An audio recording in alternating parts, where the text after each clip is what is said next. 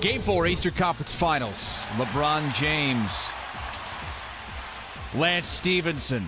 Yeah, they had some words, or at least Stephenson did, before this game. Uh, early, it was another big three member, Chris Bosh, who came up big for the Heat. And then Dwyane Wade finding LeBron. Heat up seven, second quarter.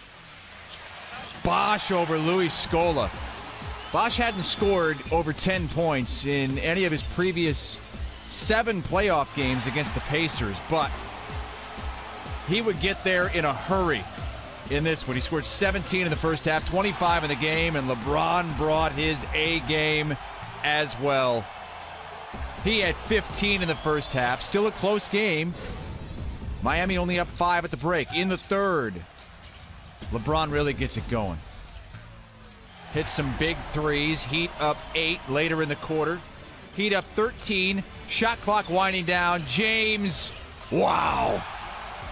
It's a 16 point lead. A little bit later, Roy Hibbert, non existent again. He didn't score.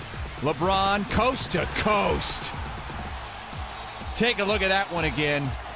No denying him, no matter what Lance Stephenson has to say. Miami cruising to a 3 1 series lead. LeBron, 32 points, 10 rebounds, 5 assists.